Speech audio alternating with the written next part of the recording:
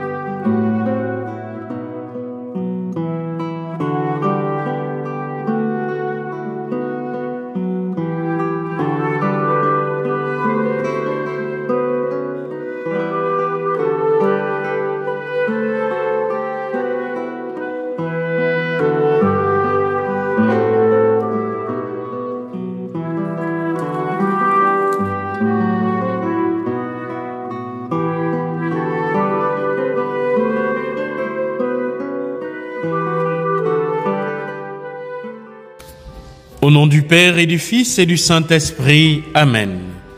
La grâce de Jésus-Christ, notre Seigneur, l'amour de Dieu le Père et la communion de l'Esprit Saint soient toujours avec vous.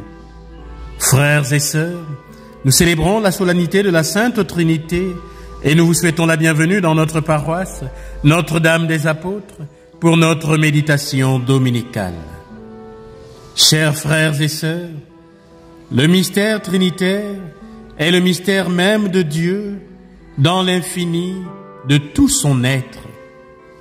Le baptême que nous avons reçu au nom du Père et du Fils et du Saint-Esprit nous a associés aux trois personnes divines et chaque Eucharistie exprime notre relation avec chacune d'elles. Nous dirons tout à l'heure, par lui, avec lui et en lui, à toi Dieu le Père Tout-Puissant, dans l'unité du Saint-Esprit, tout honneur et toute gloire. Frères et sœurs, célébrer la Sainte Trinité, c'est donc redécouvrir que notre Dieu est un être toujours en relation. Notre Dieu est amour.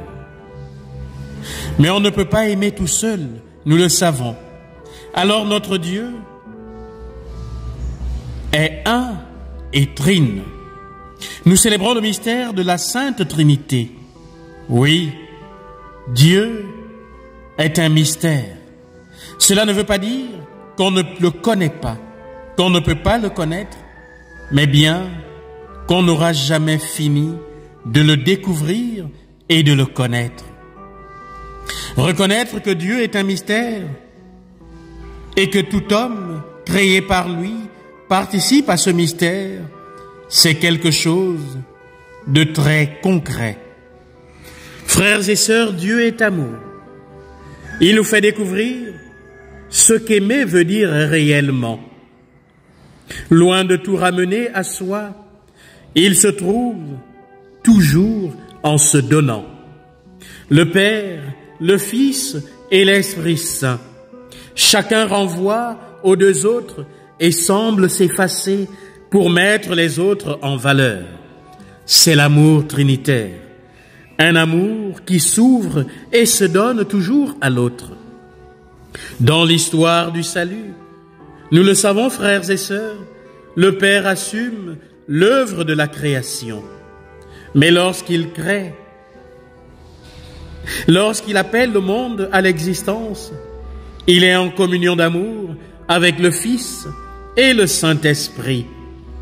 Le livre de la Genèse nous dit, faisons l'homme à notre image comme à notre ressemblance.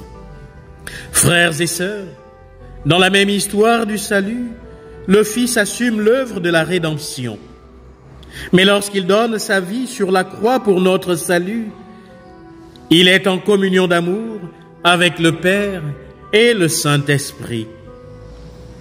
L'Esprit Saint, quant à lui, dans l'histoire du salut, assume l'œuvre de la sanctification. Il donne la vie. Il est la vie des fidèles. la vie de notre Église. C'est l'Esprit Saint qui nous met en mouvement et qui fait de nous des témoins de notre Jésus-Christ. Alors, frères et sœurs, si aimer, c'est cela. Ne pas chercher sa propre gloire, mais vouloir que l'autre grandisse. Aime et soit aimé. Alors, nous pouvons nous poser des questions ce matin sur notre manière d'aimer nos parents, d'aimer nos amis, d'aimer notre communauté chrétienne, d'aimer notre Église. Est-ce que vraiment j'aime toutes les personnes que le Seigneur met sur ma route pour ce qu'elles sont ou bien pour l'avantage que je peux en tirer au quotidien. Devant ce grand mystère, seul et unique, Dieu qui est à la fois Père, Fils et Esprit Saint, frères et sœurs, faisons silence et rappelons-nous que puisque Dieu est amour, c'est lui qui nous apprendra à aimer, à mieux aimer les autres comme lui, il nous aime.